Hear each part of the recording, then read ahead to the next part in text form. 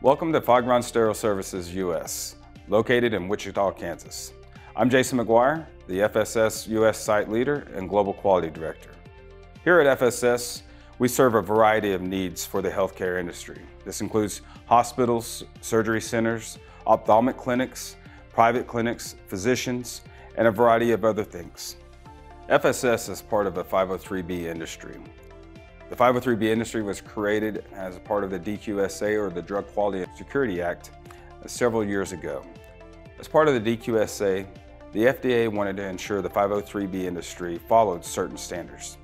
This includes the CGMP standards that are covered in Parts 21, 211, and 210, as well as other guidances that the FDA has shared with the industry to ensure best practices are followed.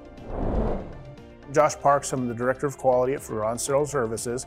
I oversee the group of quality individuals that oversee the entire process from beginning to end. So we have incoming quality that oversees the incoming materials.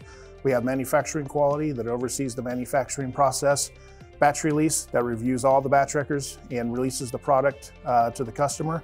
And we have uh, customer complaints as well as uh, compliance. So we oversee all the aspects, ensure that all the policies and, and procedures are being followed and met, and make sure that we release a quality product in a timely manner. At FSS, you'll see in our core values that quality is at the core of what we do. And so from beginning to end, we want to ensure that our products meet the highest standards and regulatory requirements prior to release. Hi, I'm Randy Gates, Supply Chain Manager for Fagron Sterile Services. My team is primarily responsible for procuring items that we use in the manufacture of our products. We then bring those products into our receiving area in the warehouse, start keeping track of inventory so we can ensure a constant, continuous supply chain for our products. In addition, we work across the company to put together ideas about new sales trends, new market opportunities, and new product development so we can make changes looking into the future for future production plans and future purchasing needs. Historically, we have been able to achieve an industry-leading fulfillment rate. What that means is that our customers will receive what they need when they need it. Hi, my name is Joy M. Holtz. I'm a pharm assistant for Fagron Sterile Services. I help supervise the post-production area. In post-production, we take the products through visual inspection, through the labeling, and then we do the final packaging and fulfillment for delivery and disbursement to our customers.